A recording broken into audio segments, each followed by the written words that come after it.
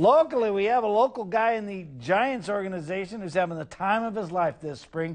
talking about Tyler La Torre, former Aptos High Star.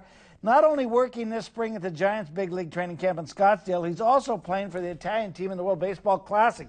At age 29, Tyler La Torre has been around minor league baseball or baseball in general for a long, long time. Played AAA at Fresno last year. This spring, though, is unlike any other. I talked to Tyler La Torre Monday night. He was in Miami then, getting ready for Team Italia to play in the WBC. Well, thank you for having me on. It's just been an absolute honor to play for Team Italy. Um, we're a, a, great group of guys, and and uh, it's been really a lot of fun. Uh, and playing in Phoenix against uh, Team Mexico, Canada, and the U.S. and and beating Team Canada and Team Mexico to move on. Um, I'm in Miami right now, getting ready to play the Dominican Republic. You actually have dual citizenship. Yeah, I have my uh, Ital- uh, Italian passport and my U.S. passport, so I'm a I'm a dual citizen of Italy.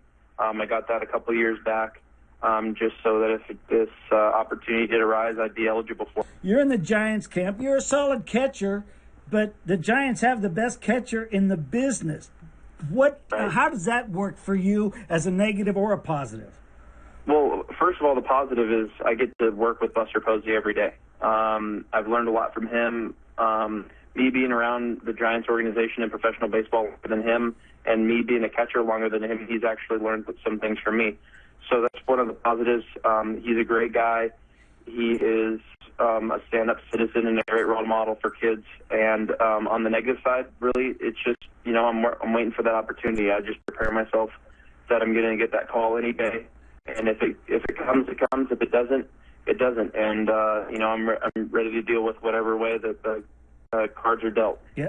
I see uh, here looking at your resume, college ball, you were an Aggie at UC Davis. What happened? You couldn't get into Chico State?